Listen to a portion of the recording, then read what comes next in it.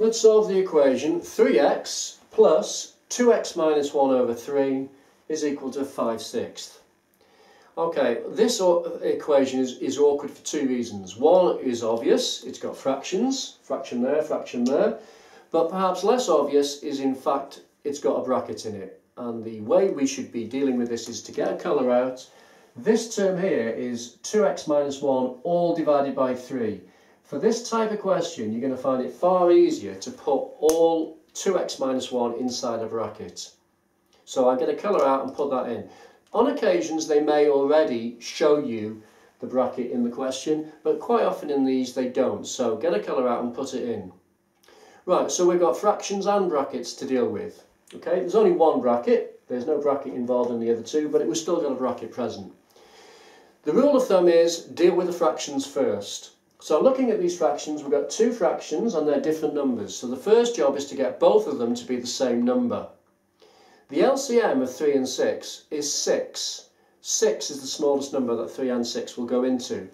3 goes into it twice, 6 goes into it once. So we'll use 6 as the LCM.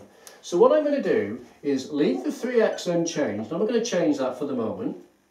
I'll put a plus sign down. I'm going to rewrite this fraction with a 6 on the bottom line, which is the LCM. So I need to double the 3 to get 6, so I have to double the top line. So I'm going to take the bracket and simply double it, which means I get two lots of the bracket, two lots of 2x minus 1, equals, now this number here has already got a 6 on the bottom line, so I don't need to touch it. I leave it exactly the same, 5 sixths. The 5 and the 6 stay identical to the original question. So now we've got an equation with bracket in, yes, and fractions in, yes, but the fractions are both over 6. I can now get rid of both those 6's as fractions simply by multiplying everything in the equation by 6. So I times everything by 6, including the first term. You've got to times everything by 6 for it to be a true statement. So 3x times by 6 is 18x. If you times this by 6, you get plus, plus goes down, two lots of 2x minus 1, which is just the top line.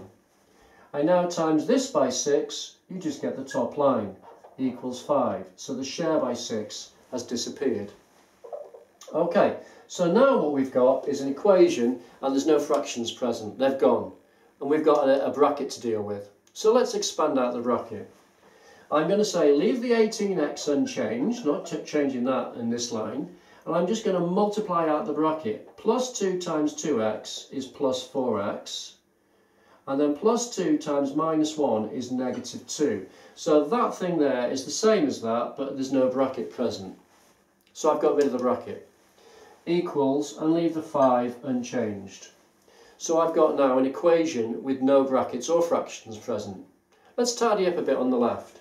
I've got 18x plus 4x, that's 22x's, take away 2 is equal to 5 on the right. So I've tidied up. There's only x's on the left, so I'm going to collect them on the left. 22x's on the left. And I'm going to take the numbers to the right. Well, the 5 is already where I want it. Leave it alone. The minus 2, take it over, becomes a plus 2. Let's tidy up on the right-hand side. So you get 22x is equal to 7 on the right. But I don't want 22x, I want 1x. So share that by 22 you get x, share that by 22, and you get 7 over 22. That's an awkward answer, so the answer is 7 over 22. 7 20 seconds. That's the end of this equation.